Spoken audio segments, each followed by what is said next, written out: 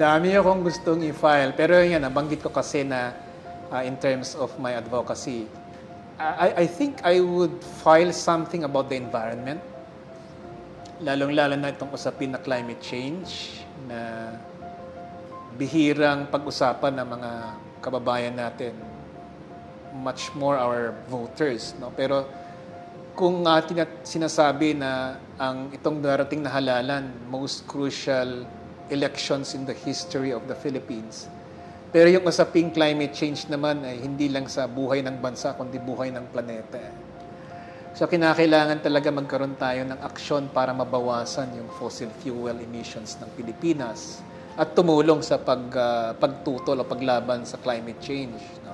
So yun yung aking iniisip, whether it's um, providing more incentives to renewable energy, yung clean clean energy at mabawasan yung dependence natin sa coal and diesel plants. No?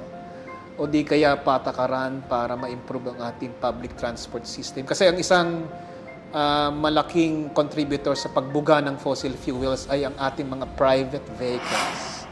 Marami talagang mga Pilipino na maraming kotse.